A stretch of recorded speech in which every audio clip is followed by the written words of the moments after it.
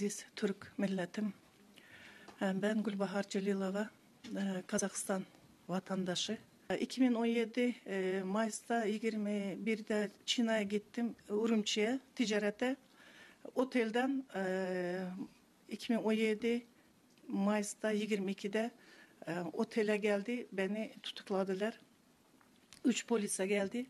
Dedi e, sorak var. Götürdük e, kamp e, e, poliseye. Sonra onda dedi imza at. Neye atayım? Sen dedi Türkiye'ye gittin. Türkiye'de kimlerle görüştün? Ben dedim ben Kazakistan vatandaşı. Ben e, erkillik nereye gitsem e, gidebilirim. Orada kampa kapattı. O Urumçi'de e, üçüncü kampa Senkendiyen. E, ge- götürende onda beni kendi urbalarımı giydirdi, ee, kanımı aldı, her bir şeyimi, ana şey burnumun şeklini aldı, gözümün şeklini her yere foto ettiler. Sonra 704 kampanya götürdü. Ertesi bana da e, bana da 5 kiloluk kişeni, 5 kiloluk zinciri e, bir sene, üç ay, on gün ben de o zincirle gezdim. Beni e, Çince şu, e, ikamet verdi.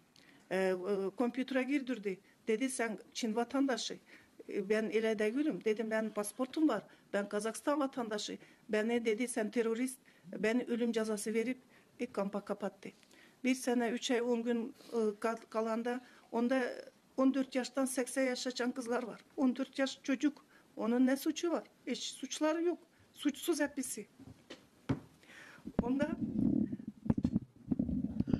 içinde günle bir gün bir güne benzemiyor. Her cüre taktikalar var onda.